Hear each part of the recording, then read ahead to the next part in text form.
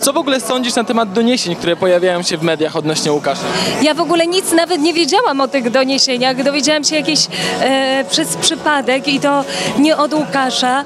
I e, e, absolutnie nie będę komentować rzeczy, które nie są ani sprawdzone przeze mnie, ani nie mają, e, jakieś są wyssane z palca. Więc uważam, że Łukasz jest wspaniałym, cudownym projektantem, nonszalanckim, który ma w sobie wielki talent, dar, który traktuje tą modę z takim przymrużeniem oka, też, że ubiera kobiety te marynarki. Na przykład na tym zdjęciu w L jestem w jego marynarce, że i, i, i wydobywa tę taką niesamowitą kobiecość, niekoniecznie tą taką oczywistą.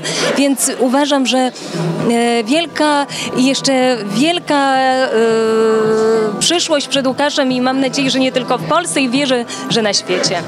A uważasz, że takie informacje mogą zastopować czyjąś karierę albo ją złamać? Ja myślę, że takie informacje są bardzo nieeleganckie po pierwsze i nieraz byłam też e, ofiarą czegoś takiego, jak e, naraz pani na, e, na placu zabaw mówiła mi, że ktoś coś na mnie napisał niemiłego i naprawdę nawet o tym nie wiem, bo nie śledzę tych wszystkich gazet.